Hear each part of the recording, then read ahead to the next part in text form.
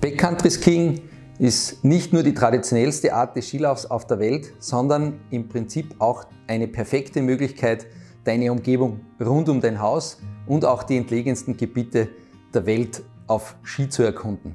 In unserer brandneuen Adventure-Kollektion bieten wir zwei Segmente an. Zum einen die OTX-Kollektion und zum anderen die Transnordic-Kollektion.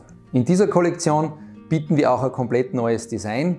Das Hauptelement ist dabei der Arctic Circle, sprich der nördliche Polarkreis, der um die ganze nördliche Hemisphäre reicht und somit das verbindende Element ähm, über den Globus darstellt. Bekannt in unserer Adventure-Kollektion ist das Easy Skin System. Durch den Ski durch fixiert man einen kurzen Fellstreifen, der entweder über der Wachszone oder über der Crown-Steighilfe positioniert wird und so im steileren Gelände für noch mehr Grip sorgt.